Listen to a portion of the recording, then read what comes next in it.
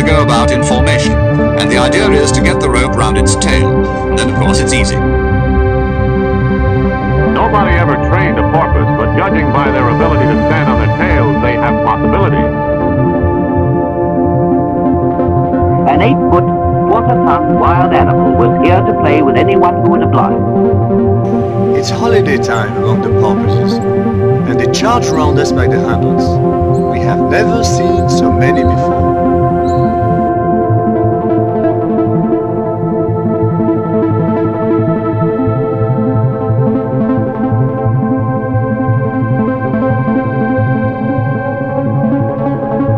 The U.S. Navy base at Point Mugu. It is also the location of one of the most fascinating experiments the Navy has ever launched, the program of studying dolphins.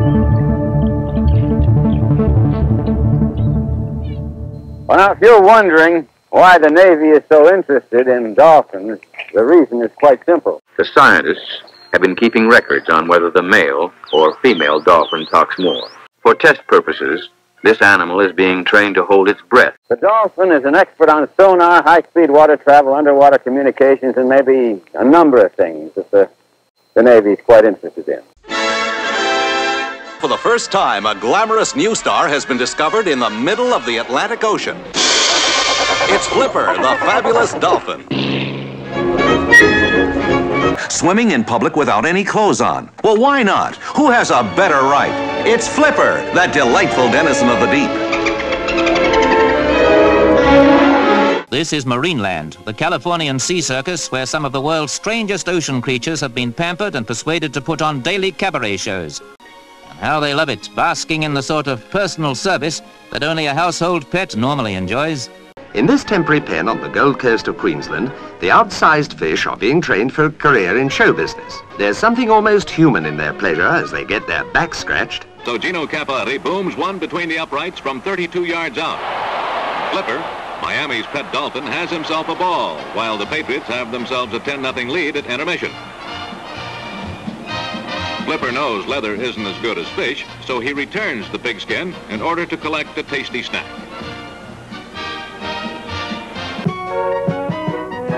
I like rubbery dolphins and whales.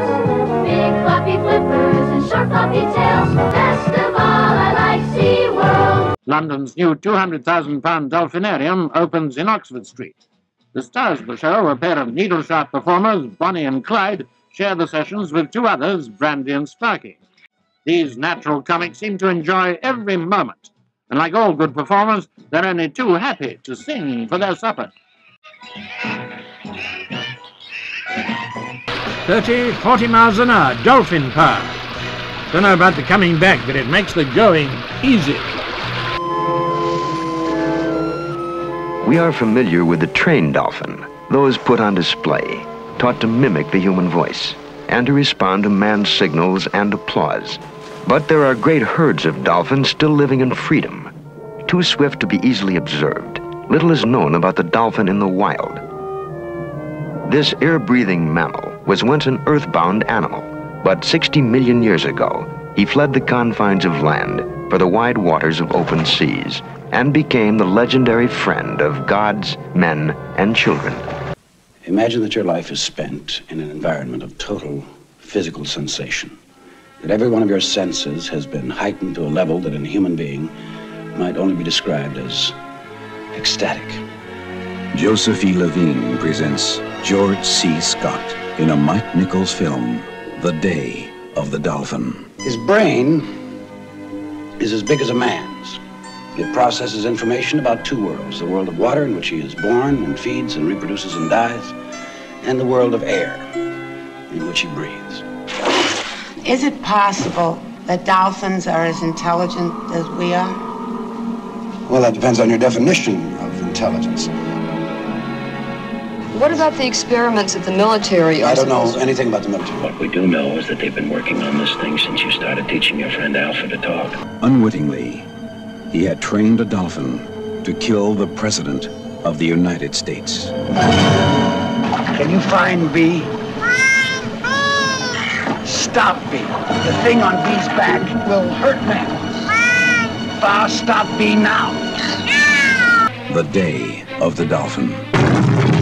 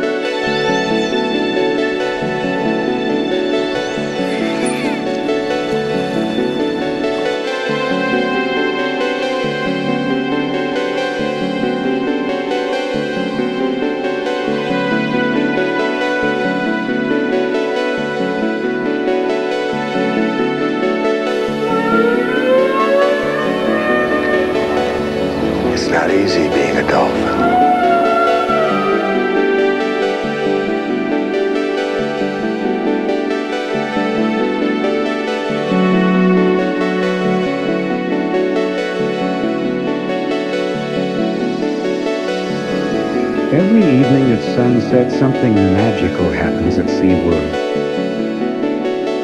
After arriving in Hawaii at the age of 10, Lassen began his life's work of artistic exploration.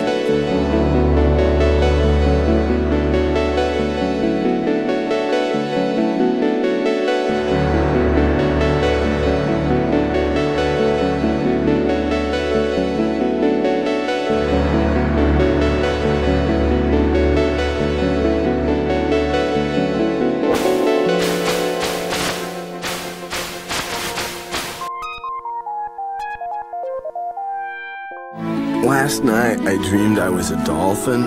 My name was Ecco, and it was incredible. Tonight on an all-new seaQuest, the ship discovers an alien spacecraft. The key to the mystery? Tell him we're your friends. Darwin. An all-new seaQuest, 8, 7 Central. It's been disclosed that the Soviets used unusual allies to help in underwater espionage, a team of highly intelligent dolphins. I've got one they won't know. Okay. How'd they get the caramel in the Caramilk bar?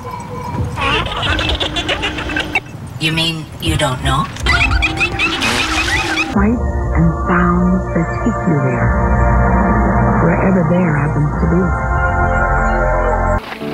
Whose idea was this? Introducing Chevy Venture, the minivan with the widest dual sliding doors. So where are they? Slipping in and out has never been so easy.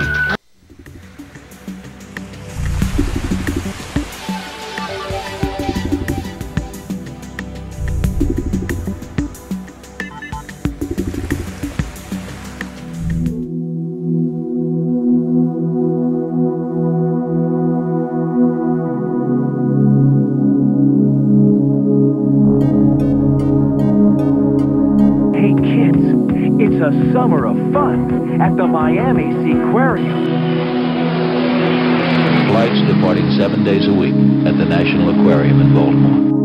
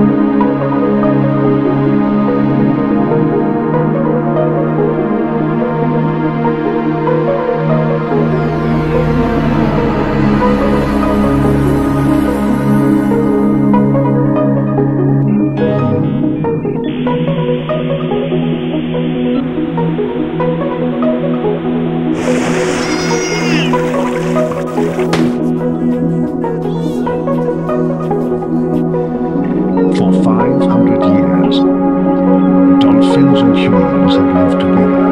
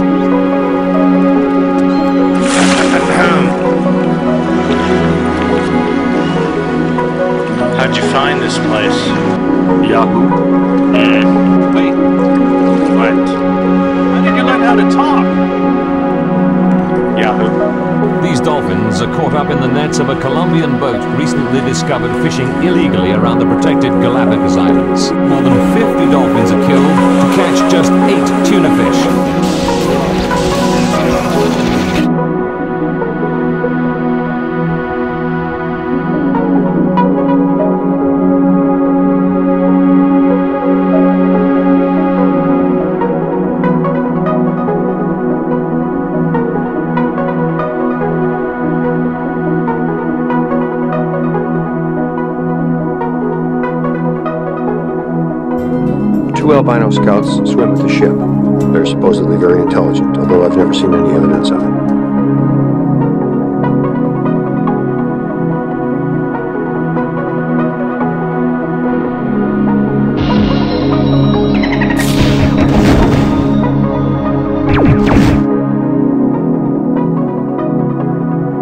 When she arrived at the Clearwater Marine Aquarium, she could hardly swim. But then she was fitted with a prosthetic tail. Winter could swim again.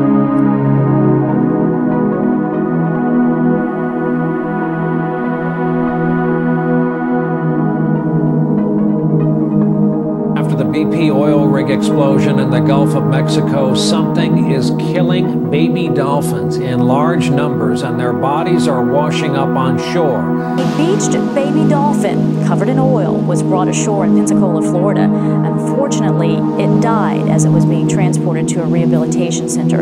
Experts say we're seeing an unusual spike in dead dolphins washing up along both Louisiana and Mississippi. Scientists say the period between the BP oil spill and now is the Gulf of Mexico's longest ever die off of marine mammals, especially bottlenose dolphins. A new study also conducted by NOAA says there is a direct link to the biggest oil spill in history and the mass dolphin deaths. Dolphin tourism is fast becoming a big business here. The dolphins seem to enjoy the attention, but conservationists fear they're increasingly being harassed. We told you about a baby dolphin that died at the National Aquarium at Baltimore.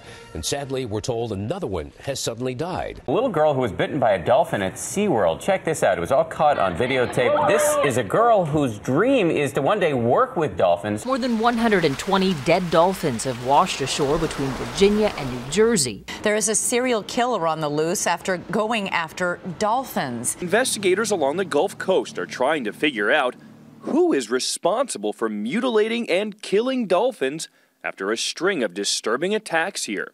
We have seen animals with their tails cut off.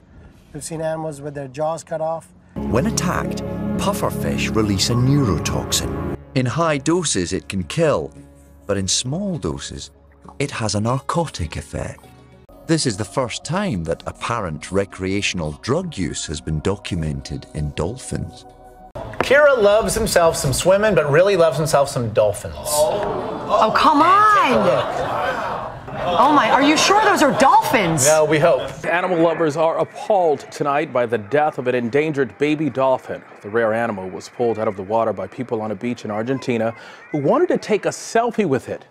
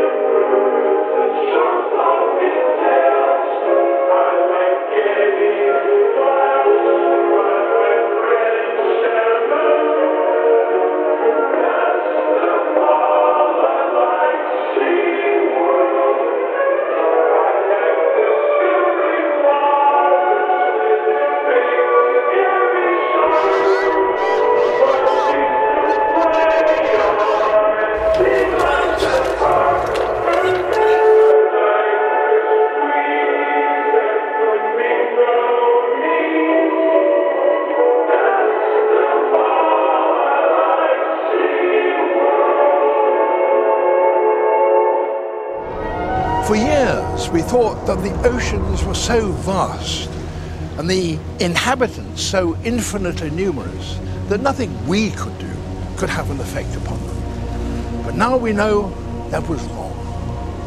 The oceans are under threat now as never before in human history. And it's now thought that pollutants may be building up in their tissues to such a degree that a mother's contaminated milk could kill her calf. Well, while many of us have been cooped up inside, one big family has been making the most of the peace and quiet. As Reed Butler explains, Port Phillip Bay's 120 Burrunan dolphins have been living it up in lockdown. With travel restrictions amid the COVID 19 pandemic having emptied the waters off Hong Kong, Indo Pacific humpback dolphins have come back to the quieter area.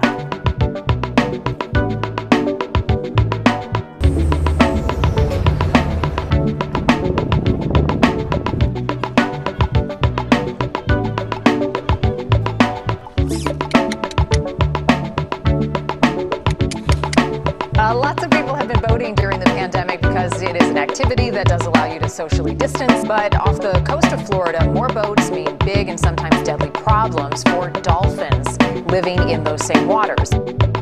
It's the center of Japan's dolphin industry, a controversial practice that results in the death and capture of around 2,000 dolphins each year in the area. Yes, you did hear that correctly. Moscow has deployed trained dolphins at the entrance of a key Black Sea port to protect one of its naval bases.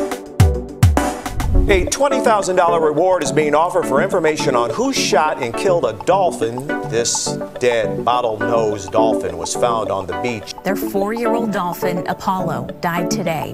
He is the third dolphin to die at CMA this year and the fifth in the last 19 months. The International Whaling Organization has issued its first ever extinction alert. It says the vaquita porpoise is on the verge of extinction with only around 10 animals still surviving. The world's smallest sea mammals and found here on the Mexican Pacific coast. The Commission says the species can still be saved if a ban on gill net fishing is fully enforced in the Gulf of California.